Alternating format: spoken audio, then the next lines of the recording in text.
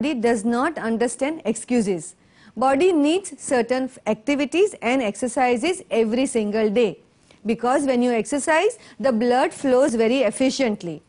और जब ब्लड अच्छे से फ्लो होता है तभी शरीर के हर कोश को हर टिश्यू को अपना खाना और ऑक्सीजन मिलता है so when you exercise your body gets nourishment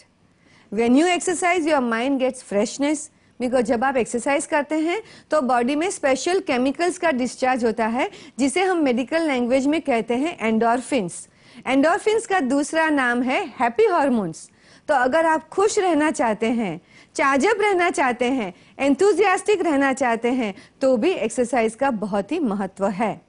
और जैसे ही हमारी उम्र बढ़ती है तो अगर हम एक्सरसाइज नहीं करते हैं तो हमारे शरीर में फैट का प्रपोर्शन बढ़ता है और मसल्स का कम होता है। And fat is a stored energy